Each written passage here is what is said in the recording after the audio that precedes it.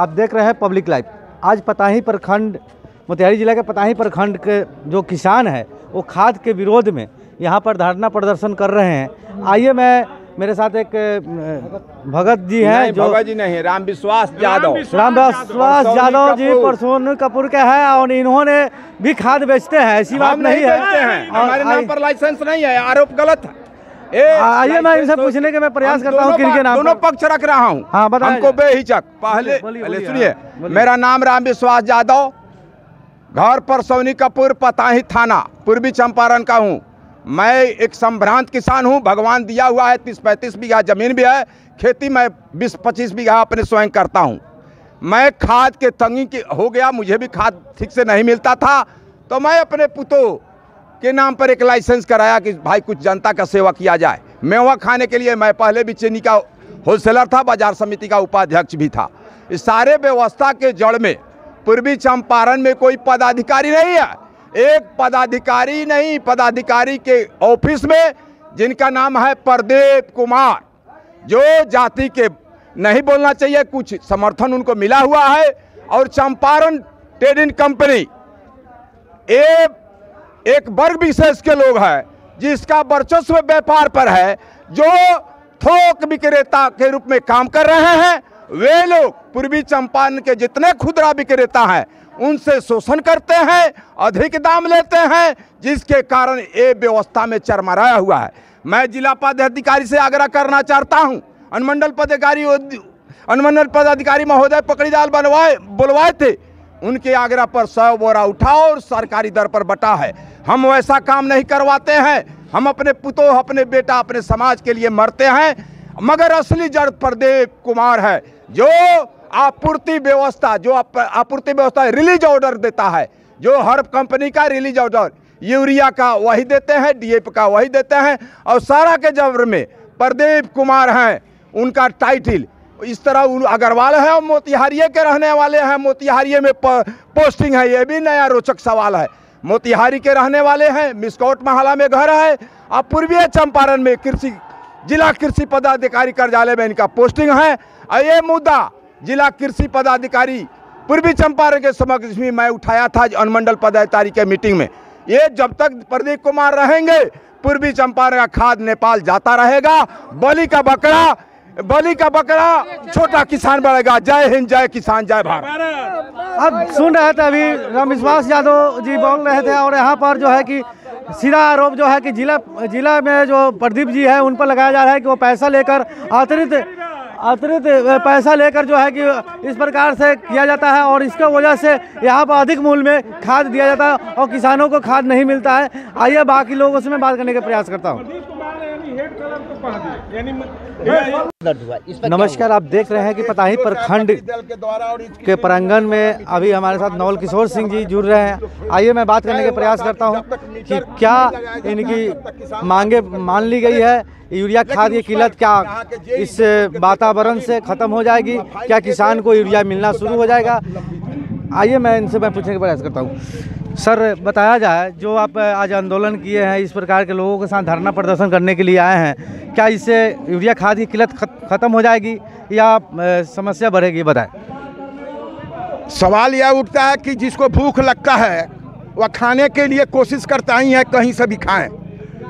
और इसे किल्लत हो जाएगी कि घट जाएगी क्या होगा? यदि किल्लत होगी तो किसान अगला स्टेप लेगा।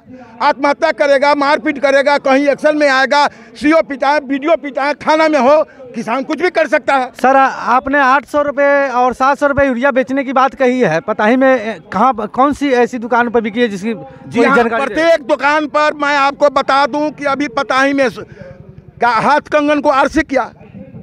आँख के सामने में है कि आपको मेन रोड भंडार से शेखपुरवा जो रोड पर है आप कभी भी जाएँगे वहाँ पर दस गो बीस गो साइकिल पर दो दो खाद सात सौ सौ रुपये भंडार से खरीद कर आ रहा है। भंडार आपकी पताही प्रखंड क्षेत्र में नहीं लगती है वो ढाका पर- प्रखंड में है। खरीद कर आ रहा है। खरीद खरीद के आ जा रहा है पर वहाँ ढाका ढाका अंचलाधिकारी या ढाका की जो है पदाधिकारी वहाँ पर एक्शन लेना चाहिए। आपकी पताही में कहाँ पे सात सौ में बिकी है वो बताएँ। हाँ हमारे यहाँ प्रत्येक दुकान में पाँच सौ छः सौ सात सौ प्रत्येक दुकान में। किसी एक दुकान के नाम बताएँ आप किसी अब हम प्रत्येक दुकान की बात बोल रहा हूँ। मैं व्यक्तिगत लड़ाई नहीं लड़ता मैं समाज के लिए लड़ाई लड़ता हूँ। पूरे पताही प्रखंड में पाँच सौ छह सौ रुपए कहने के लिए सर का जो है आदेश है सब दुकान में है। अगर आप सरकार के ऊपर नहीं नहीं आप आइए आप आइए। सरकार तो सरकार के ऊपर आप आरोप लगाइए ना। सरकार के ऊपर आरोप लगाइए। सरकार- हम किसान हैं। प्रत्येक दुकान में। भुक्तभोगी हम हैं न कि आप हैं। 600 700 में चोर जैसे अन्नदाता जो है लेकर। खरीद कर कहाँ कहाँ से बेचारा लाता है कि हम बोलेंगे? हम बोलेंगे तो हमारे ऊपर जुल्म होगा। इस तरह की घटना है। दयनीय।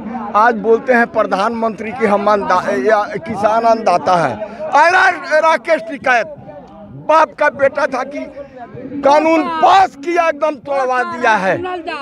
समझे? आप भी किसान के बेटे हैं। आज सब किसान कादों में रात दिन खटकर।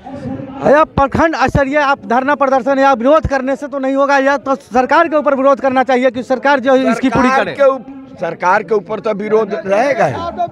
विरोध रहेगा ही। लेकिन यहाँ पर किस लिए बैठाया है इन लोग को? कालाबाजारी कौन रोकेगा? यू हैव टू राइट आपके पास राइट है ना मेरे पास पास राइट है। You have no right I have no right ये क्या हो रहा है?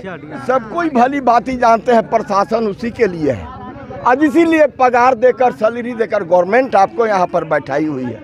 आपका फ़र्ज़ बनता है कृषि सलाहकार हो चाहे बीओ हो जाइए किसान भाइयों से मिलिए फ़ील्ड में जाइए देखिए क्या दुर्दशा है इसका प्रबंध आप करवाइए।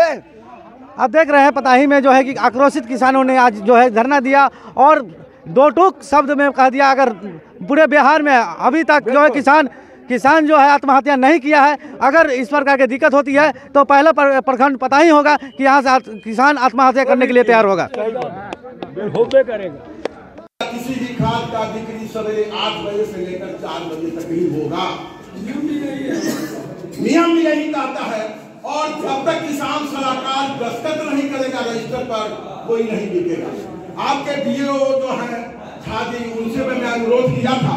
मैं आप लोगों से जितने भी पदाधिकारी आपसे लेते हुए डीएम तक इसको आप सर्कुलेट कर दें जब तक ये प्रखंड कर्मी ताला लगाकर निकल नहीं जाते हैं तब तक हम लोग यहाँ बैठे रहेंगे और ये लोग निकलेंगे अनुशासित तरीके से नहीं तो हम लोग बाध्य होकर ताला बंद करना होगा अपना ताला बंद कर देंगे आप प्रशासन को सूचित कीजिए मैं प्रशासन से एक बात पूछना चाहता हूँ पत्रकार बंधुओं से भी मैं पूछना चाहता हूँ कि आप अपना गूगल उठा कर देखिए, कि देखिए, पटाई प्रखंड को पाँच सौ यूरिया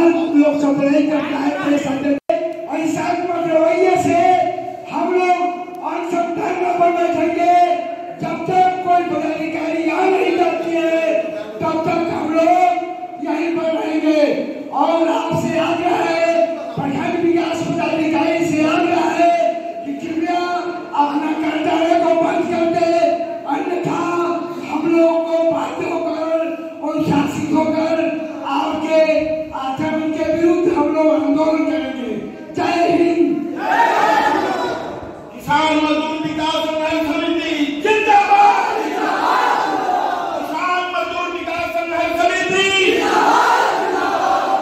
आज का यह प्रदर्शन विराट प्रदर्शन यूरिया खाद में कालाबाजारी बताई प्रखंड में छह सौ रुपए से सात सौ रुपए तक यूरिया मिल रहा है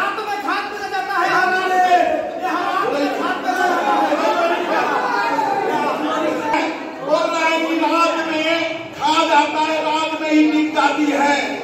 छह सौ से सात सौ रुपए तक यूरिया खाद बिक जाती है। किसी भी सरकारी पदाधिकारी द्वारा इस पर किसी तरह की कोई कार्रवाई नहीं की जाती है।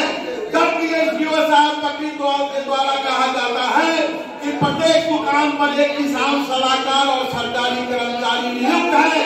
सरकारी का सरकारी रेट पर देखने के लिए